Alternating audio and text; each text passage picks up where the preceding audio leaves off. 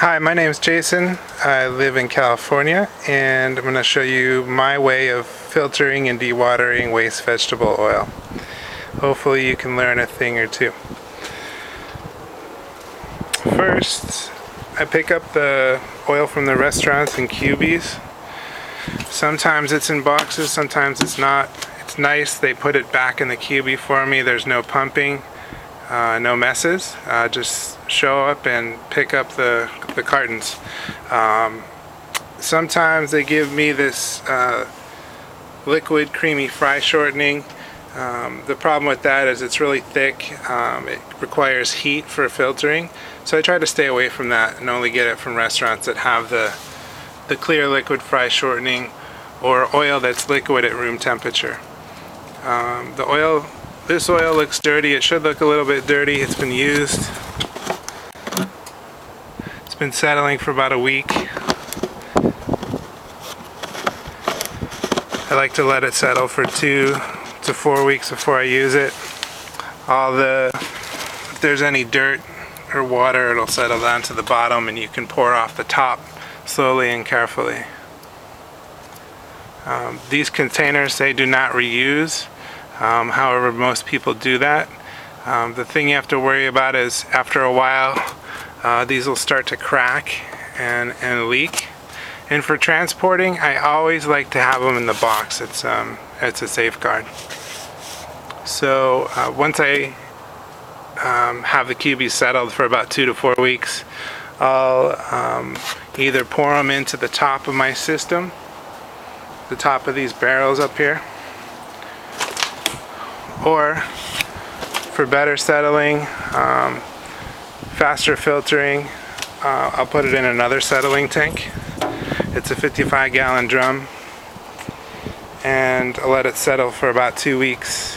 Um, and from this I'll pull off the top two thirds and I use a pump to do that. It's a 12 volt pump. Uh, this pump uh, is taken, it's a Tuthill. I'm trying to look for the model number 1612, FR 1612. Um, the problem with this is the fuse kept blowing when I was using it. Um, and I found that on my other pump as well, the fuse, the wires weren't crimped properly. Um, so I just took the fuse out and uh, it's been working fine. Uh, I have a pre-filter on this. I don't want anything to clog up the pump. This pump doesn't have a filter on it. Um, I could also use a filter on the end of uh, the pickup tube but I didn't have an extra one so I just plumbed in a filter right here before the oil goes through the pump. So I'll hook this up to a 12 volt battery and pump off the top two thirds of this barrel and the outlet hose is plumbed in and it fills up these two garbage cans.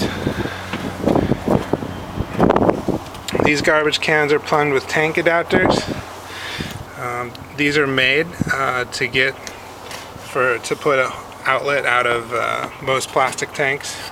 I have shut-off valves. And gravity feeds this through a couple filters. This is the house water filter. Uh, it's got a shut-off. Um, it's I have filters in here that I think are 20 or 30 nominal and they're about three or four dollars each. Um, then it's plumbed through the Donaldson diesel truck filter. These are common for filtering vegetable oil. Uh, diesel truck filters are. This one happens to be a, a, pretty large one and it's fairly inexpensive. It's about $14. Um, it blocks water and filters to 10 micron absolute. And um, through this process I had to put air release because the oil will get caught up by air bubbles. So on each step I have um, an air release uh, pipe.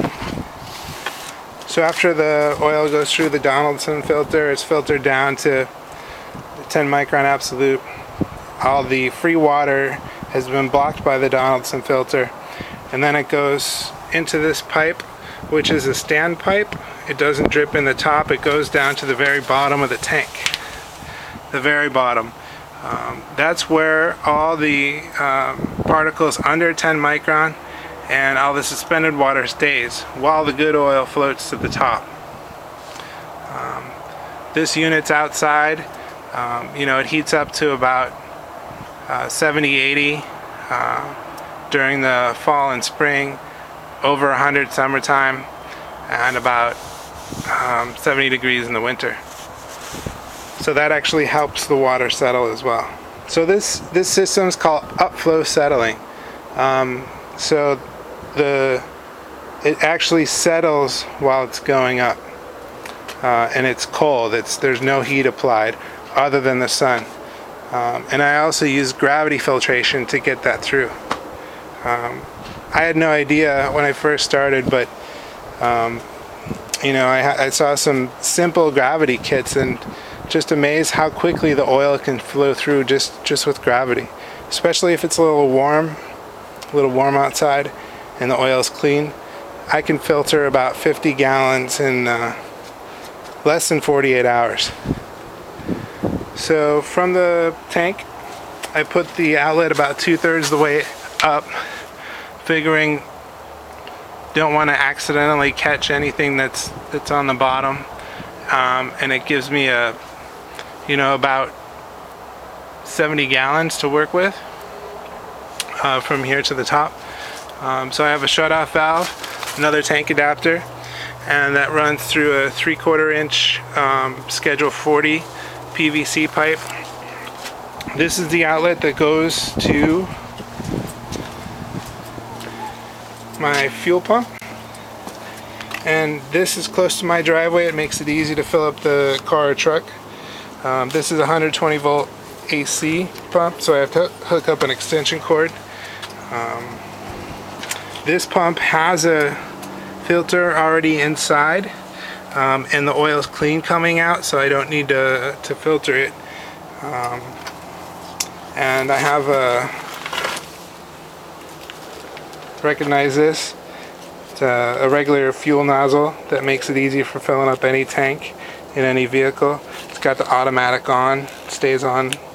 Uh, it does not automatically shut off so you really have to watch it. So that's about it. Um, Recap the oil goes the dirty oil goes either in the top of these puppies then down or in the for more settling gets pumped in or I could actually dump it in the top of these. I'm in a pinch goes through a first primary filter then a secondary fine filter into the bottom of the tank. Gets pumped out by my auxiliary pump to where I need it. And there's nothing like seeing uh, liquid gold, waste vegetable, clean waste vegetable come out of a, a gas nozzle. Uh, so that's it. Thanks.